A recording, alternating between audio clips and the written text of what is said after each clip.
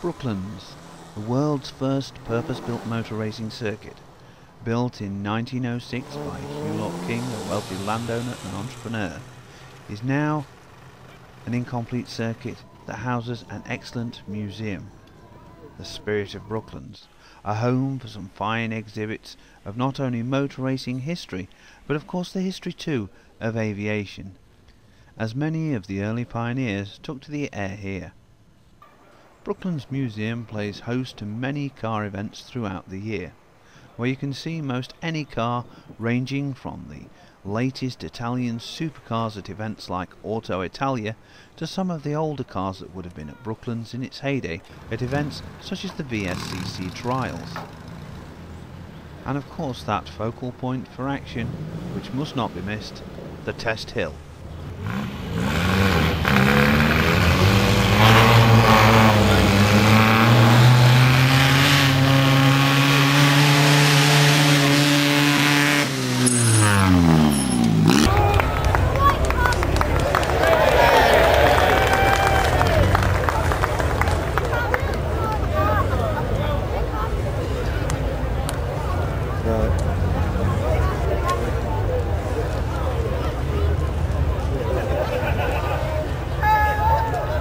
I know what I have done Ring your mum. Certainly a case of the right crowd and not too much crowding. Meanwhile, back out on the track, the VSCC often use the track for their trials. But wouldn't it be great if we could do a full circuit of the circuit?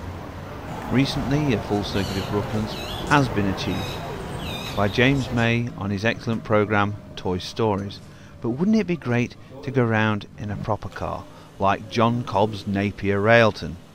Unfortunately, this couldn't happen unless we go into Cyberworld and the world of Microprose Spirit of Speed 1937. So let's leave the start finish straight at Brooklands and to our right is of course the test hill as we venture out onto the circuit and members banking and head off down the railway straight and start to really pick up some speed.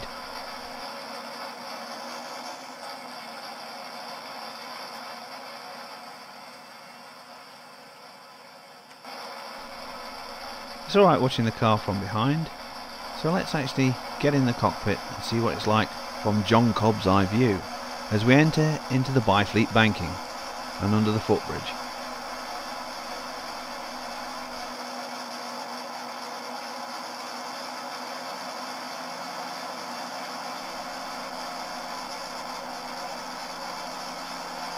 Exiting the Byfleet banking, we come to the second crossing of the River Wey. The white building directly ahead of it is of course the timing building. To our right is the Brooklands works of Vickers Aircraft, under a second footbridge and entering into Members Banking. And of course under the famous landmark that is Members Bridge. The current bridge of course across the track on the Members Banking was a new addition as the original was got rid of many years ago. But hey, it looks the part so what the hell. Currently parts of the track that still remain, Well, there's a lot of the railway straight still remaining and of course the Byfleet banking, though there are a couple of major gaps in the Byfleet banking where roads now pass through, one of which used to be where the runway for Vickers Aviation used to pass through.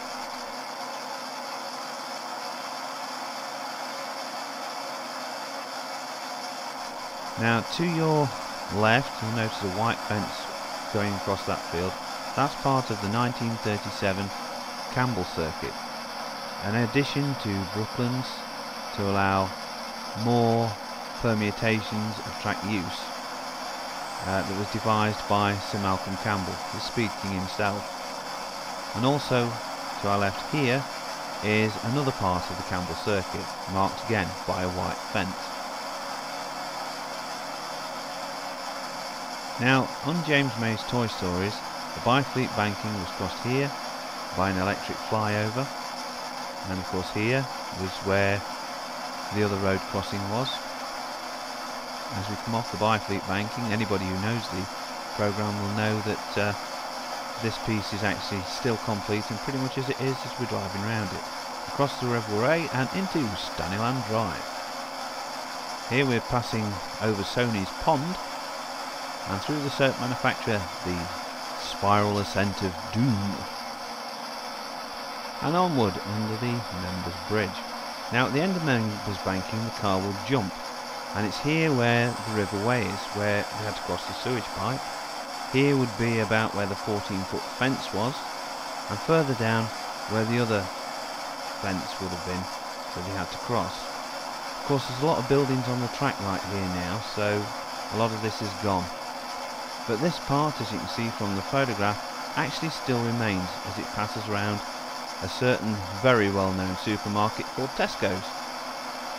And finally as we come off the end of the Byfleet banking we're heading now for the start finish straight which if you notice the dark area across the base of it as we're just about to cross this is where the Campbell circuit would have crossed it. This particular part of the circuit is still in existence and is a car park for officers.